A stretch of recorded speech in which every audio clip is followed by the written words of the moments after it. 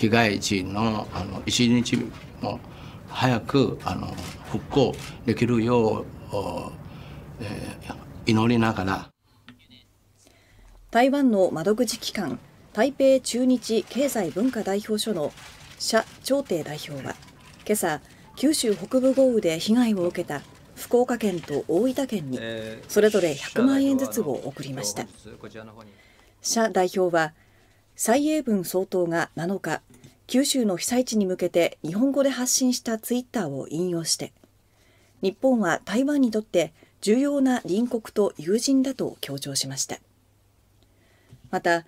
台湾の災害でいつも最初に救いの手を差し伸べてくれるのは日本だ。これからも世界の規範となるような関係を築いていきたいと述べました。台湾からは東日本大震災や熊本地震の際にも多くの義援金が贈られました。